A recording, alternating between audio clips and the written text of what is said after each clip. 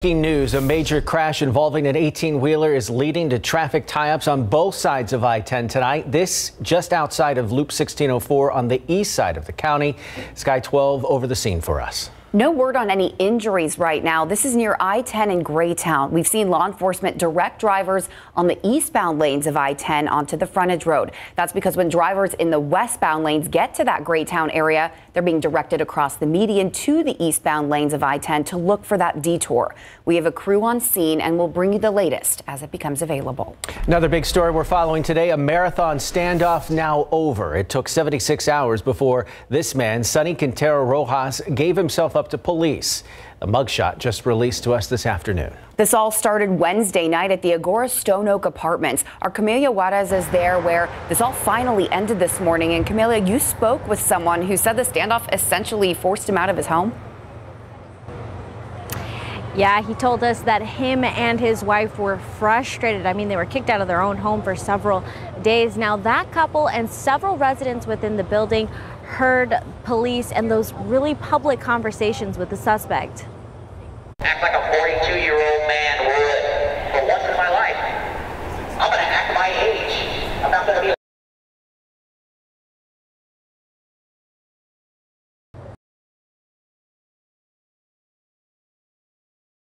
Now we have a picture of this man finally. Police were after this man, Sonny Quintero Rojas. He's booked at the Bexar County Jail on four charges tonight, including aggravated assault with a deadly weapon, parole violation, property theft, and murder. San Antonio police confirmed he was wanted in the wanted in the death of a man out in Cuero. That's about 90 miles east of San Antonio. Now, with the suspect in handcuffs, re residents can return home. One man who lived in the apartment right below where Rojas was barricaded says it was frustrating for him and his wife to be locked out of their home for nearly three days. Officer had told her to pack for like a day, and then obviously this ended up being about three or four days, whatever it was. So it was it was difficult to deal with that, not be able to come home, just that feeling of not not having your home to go home to. Now, those residents were able to come back home today, like we said, and we were speaking to him, and he said he's trying to catch up on errands, trying to get ready for the week. Um, but that same man you just heard from, his ring camera was rolling during the arrest, so we'll show you that video coming up on the night beat. Camelia Juarez, KSAT 12 News. Thank you. We'll look forward to that story. New at 5:30, a robbery suspect on the run after taking a cash register in the heist. It happened at a store on Old Pearsall Road and Five Palms Drive last night. Take a look. Investigators say the suspect had a gun and is believed to have used a door code to get inside that store. Police say the suspect then pointed the gun at several people inside before running away with the register. If you can help police in this case, give them a call. Also, San Antonio SAFFE offers tonight want you to take a close look at your screen. They have released these pictures of a man that they're looking for. They say this man is accused of breaking into a business near Rittiman and Loop 410 and then breaking into a safe. Investigators say he took thousands of dollars. This all happened back in May. If you know who he is, you're asked to call police. Their number 210 207 7716. Well, changes are being made months after the deadly shooting at Robb Elementary. Tomorrow, Uvalde CISD plans to discuss all security changes and upgrades for their schools. Those classes start in less than a month, so it'll be a chance for parents to ask all of their questions. The district announced counselors are undergoing trauma grief training for adolescents. Crews also removed old chain link fences at Dalton Elementary and will replace it with new design master fencing. The same will happen at Uvalde Elementary's Benson campus, where children from Robb will attend. New cameras are also being installed at Uvalde High School and will be soon installed at Morales Junior High. Tomorrow's meeting is expected to cover those changes and more. It's scheduled to happen at Uvalde High School at 6 p.m. There will be an open forum for parents to address issues they may have. In the meantime, the district is also in the process of figuring out how many students will be returning to the district. And our coverage continues on social media on KSAT.com as well. There you can read about Robb Elementary School Principal Mandy, Mandy Gutierrez. She will be the school she will be at the school this coming school year, but under a new role. The former assistant principal of Uvalde High School will take over as principal of Robb Elementary. Back here in San Antonio, more than a month later, another gathering held today at the site where 53 migrants died in the back of a hot 18 wheeler. Organizers say today's event allowed people to share stories about those who lost their lives there on Quintana Road. Families also sharing their memories through phone calls, and others sharing their poetry and paintings as a way to call leaders to action when it comes to immigration. And tomorrow, a local town hall will be held to discuss immigration. Sheriff Javier Salazar will be hosting the event along with several other panelists. You'll have a chance to ask immigration questions at the downtown UTSA campus on Cesar Chavez Boulevard. Doors will open at 6 p.m. and the town hall starts at 7. There is a no bag policy in place. Lots of kids are getting ready to return to class for back to school. The Silver and Black stepping in to help with free school supplies, health screenings, and vaccines today. Parents, students, and teachers were invited to the AT&T Center to get some free resources. The organization Spurs Give says it was the first time they've organized a one-stop shop like this. I think we've had about 3,000 people come through already, and it's just uh, towards the beginning. So hopefully the start of uh, something great. San Antonio ISD also there today helping parents learn about free at-home internet programs. And speaking of SAISD, a reminder tomorrow, we are helping you prepare for the start of the new school year. The superintendent of SAISD, Dr. Jaime Aquino, will be joining us live for a Q&A during our noon newscast. That's tomorrow on Monday. He'll be talking about dress codes and school lunches and so much more. So tune in. Still ahead on the news at 5:30, the nation on two separate sides of extreme weather. As San Antonio can't seem to get enough rain, other areas getting way too much. A look at the hard-hit areas next.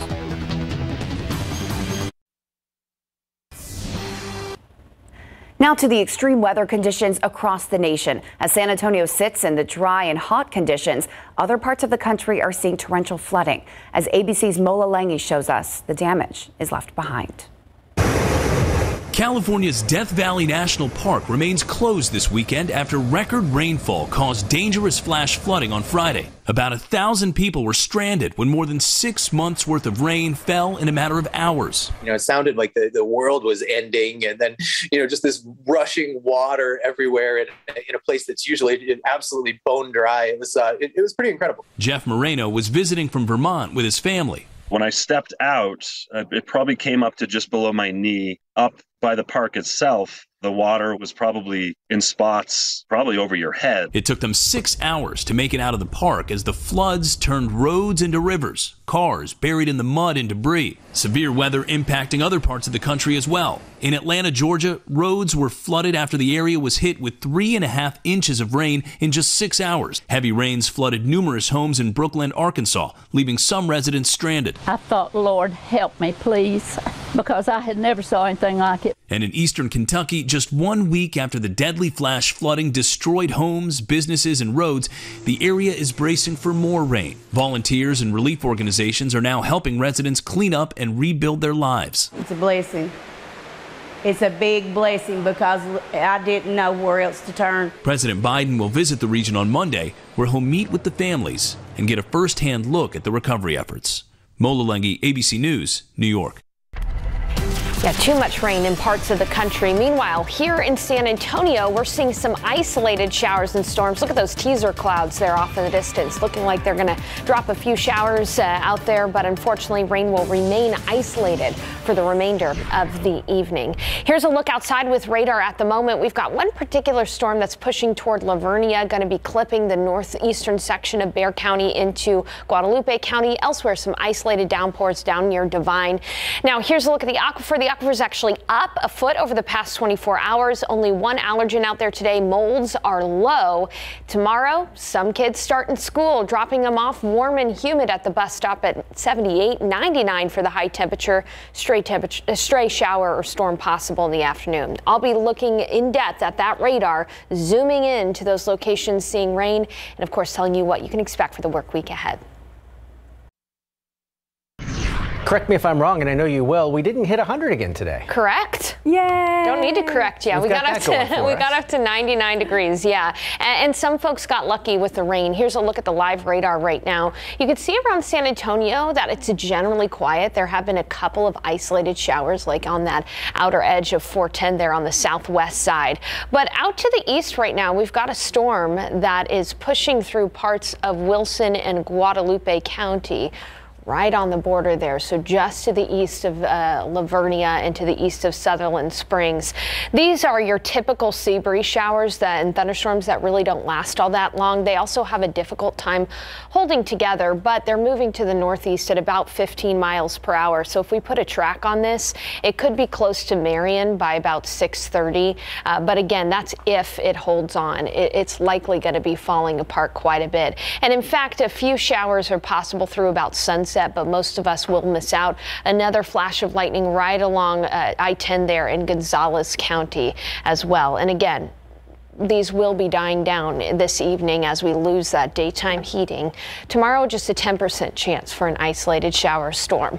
99 was the high temperature. We technically missed 100, so a little victory there for us. And outside right now, it's 95 degrees. Winds are from the southeast at about 17 miles per hour, so it is pretty breezy. And it is going to be windy tonight with gusts up to about 25 miles per hour. After the sun sets, temperatures will fall into the 80s. Here's a look at the high res futurecast. The main area of any kind of rain tomorrow will be along the coast. One or two of those may try to make a run for that I-35 corridor in the afternoon. And so we've got a 10% chance for a stray shower or storm tomorrow, but it's mainly just going to be a hot and humid day. Because we'll have a little bit more cloud cover, a lot like today, our high should stay just shy of 100, but close to it. 99 in San Antonio, 95 in Bulverde, 99 New Braunfels and Seguin, 100 though in Hondo and Devine, 97 in Comfort and in Kerrville. Your KSAT 12 hour forecast waking up early tomorrow morning. It's going to be 77 and humid outside. Temperatures will climb to the uh, near 90 degrees by about noon, and it's after 2 p.m. that we'll have that 10% chance for a stray shower or storm 99 for the high temperature. On the satellite and radar, you know, you can tell that that heat high is not as prominent. The way you can tell that is there's plenty of rainfall activity across the central plains. If that heat high was stronger, we'd really be seeing a lot of uh, drier weather out there. But that heat high as it stands is weaker and to the north. And so that means a couple of things for us this week. The good news is we won't be dealing with record heat. It's still going to be hot. Temperatures will be near 100 or slightly below, but nowhere near those records that you see there. So at least the heat will be bearable in the coming week. And with that heat high not as strong, it's going to open a window for rainfall, especially on Thursday. Now, only a 30% chance for some isolated showers and storms Thursday. The bad news is we don't have any big gully washers in our forecast that would help us out with the drought. Uh, so unfortunately, no big rain chances. However, we'll be keeping tabs on that chance for rain on Thursday. Isolated showers and storms possible. Coming up on the night beat, we're going to talk about how this so far has been the driest year we've experienced to date, and we'll take a check of the tropics as well. All right, that seems like it tracks. Thanks, Sarah. All right, Andrew, one big question that the Cowboys are trying to figure out in their preseason camp is how to fit Tony Pollard into a bigger role in the offense. Yeah, every time this guy touches the ball, he usually goes for big yardage. So obviously the Cowboys want to get him more touches, right? The question is, how do they do that? When we come back, Greg Simmons has more on Tony Pollard's bigger role in the offense this coming season. Plus, the Texans want to run the ball more themselves. Got that too next.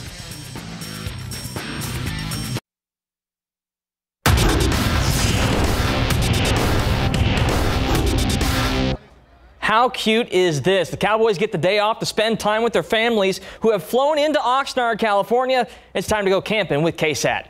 Camping with KSAT, powered by Davis Law Firm. The Dallas Cowboys have been training camp two weeks as of today, and there are only three more practices left before they break camp and head to Denver for a joint practice with the Broncos ahead of their preseason opener on Sunday night. One of the positions that the Cowboys are currently looking to fill is kick returner, with CeeDee Lamb serving as the Cowboys' number one wide receiver and Tony Pollard assuming a larger role in the offense. Special teams coordinator John Fassel needs to find serviceable replacements. That's part of the reason why the Cowboys decided to sign former TCU Horn Frog KaVontae Turpin, who brings some serious speed after earning MVP honors in the USFL over the summer.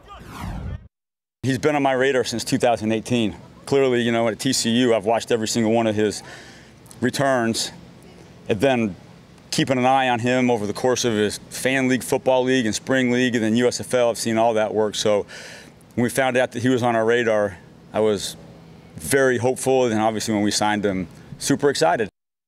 Now, one of the biggest changes in training camp this year has been the mandate that both Ezekiel Elliott and Tony Pollard have to be on the field at the same time. But there's still some schematic work left to figure out. Should they be together in the backfield or should Pollard line up at wide receiver? With more on Pollard's increased workload this season, here's our Greg Simmons. What has encouraged you about being used more in the offense? Um, you know, just just being more, you know, in the playbook, you know, being more involved in the play calling, you know, um, having different personnel with, you know, both guys on the field. So just seeing that so far. So far, so good for Cowboys running back Tony Pollard, who's in the past served as a backup for star Ezekiel Elliott. Now he's getting his own time to shine, sharing the backfield with Zeke, and at times being used more as a receiver. I don't want to say too much, but you know, just just having me out there, you know, uh, both of us out there at the same time, you know, having defenses confused on who they need to cover and who is the running back or who is out of receiver. So much so, Pollard has found himself hitting the playbook more often now, making an adjustment to receiver out of the backfield and in the slot. Running back to me now is, is pretty much second nature. You know, it's just going over fine detailing things, but receiver, you know, it's pretty much a new thing I'm learning right now. Up until now, Pollard was used more as a relief or as a third down back. Did that frustrate him since he was drafted by the Cowboys in 2019? I've been dealing with that my whole career. I, I wouldn't be here if I was frustrated and let it get to me, so I just keep doing what I do. As a result, Pollard is coming off his best season with 719 yards, two touchdowns, but eight in his career.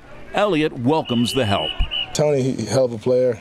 Just his, his uh, you know, his elusivity, his explosiveness. So, you know, I think I, I go in there, I pound him a little bit, and uh, he goes in there. He, you know, he gonna he gonna break some, break some some long ones. And if Pollard is successful with being used as a wide receiver out of the backfield, that would free up Zeke to pick up the blitz on certain plays and protect Dak Prescott even more. With the Cowboys in California, Greg Simmons, KSAT 12 Sports.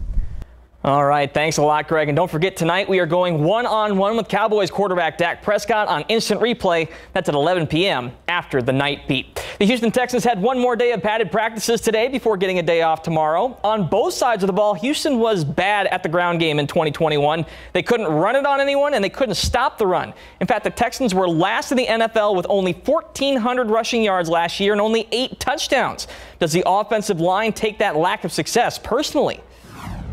Of course we do. And I'd be lying if I say I didn't. As an offensive lineman, you want to, you know, be able to show you, show how physical you can be, get down and run the ball. Because you know that's at the end of the day, if you can open up the defense with the run game, that opens up uh, a whole lot of different things we could do offensively. So yeah, that's one thing we, you know, we take pride in trying to run the ball.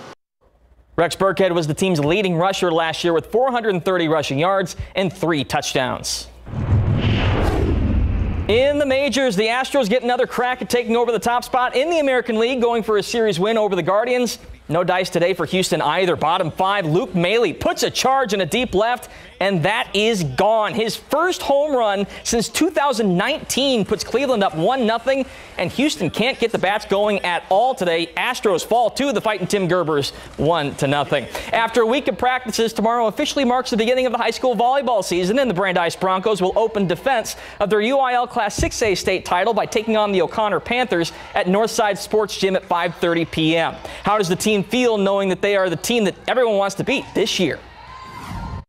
It's honestly made us that much more excited for this season. Like knowing you have that target on your back and knowing that you're the ones that everybody wants to beat, or just going out there and playing your hardest, knowing that everyone has this like set expectation of you. It's really exciting and it just makes you want to perform better in the gym. Can't wait to see them on the court. But before we go, take a look at this. Former UTSA Roadrunners tackle Spencer Burford knows some dance moves, showing his footwork at the 49ers training camp. The fans love it, and the coaching staff loves it too because Burford's getting first team reps with the offensive line. I know another reason why he's dancing. This is the last Sunday we have before the NFL season begins. It all begins next Sunday with the preseason. Thank goodness. It's been a long wait. Yes, and when the. MLB and the Guardians come for you, I had nothing to do with that. I'm just saying they should have they should have changed it to the Gerbers. It's a better G name. I think it is too. the Gerber babies. We'll be right back. We'll continue to see isolated rain through about sunset. Tomorrow, 10% chance for a coastal shower or storm. High temperature 99. Most of the week next week will be at or just below 100. Best chance for rain Thursday, 30% isolated showers and storms. I like the trend. Let's keep it going.